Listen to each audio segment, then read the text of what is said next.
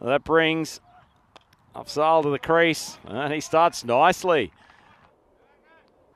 A huge cricket matches. This is well placed, and this is going to pierce the four runs. And Full toss, it's hammered high into the Stockholm sky. The ball's outside off stump, and Qudratullah launches it. last ball for Farouk in the eighth. Big strike. That's a cracking cricket shot. Qudratullah takes him over the offside.